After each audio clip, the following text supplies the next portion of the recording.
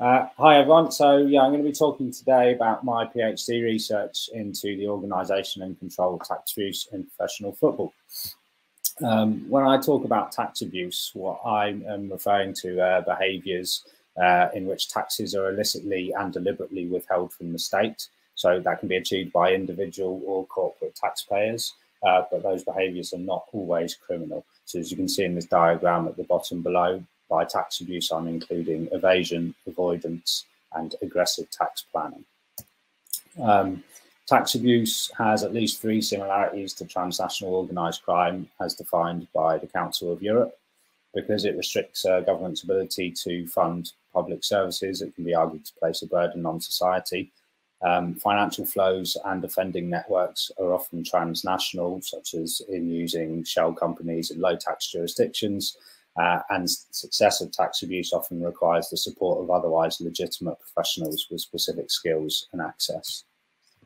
Within the context of UK football specifically, and specifically men's football in England, uh, the effects of tax abuse can be quite severe whilst the total costs and harms are not known, I did make, I, have recently made a Freedom of Information Act request to HMRC's Football Compliance Project, which is a group set up specifically to tackle tax non-compliance in football.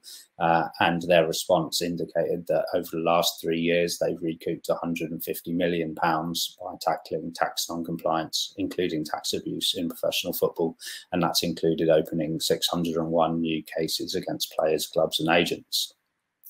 Within football, there are specific opportunities for tax abuse, uh, such as in misusing image rights agreements. Uh, that, the, an example of a, a, misuse of image rights agreements is when a footballer who has no commercially valuable image still is receiving a portion of their income as an image rights payments, which is taxed at a lower rate usually corporation tax rate, but possibly lower than that, which is obviously much lower than the income tax rate of a Premier League footballer, which would be for the for the most part be 45%. Uh, so to undermine tax abuse in football, uh, I argue that I have to combine two approaches. The first is to understand how tax abuse is perpetrated, to understand its procedural organisation, such as who's involved, what steps need to be taken, and what are the requirements to achieve each step. But I also think it's important to consider the broader structural drivers which might enable, incentivise, or shape these abuses.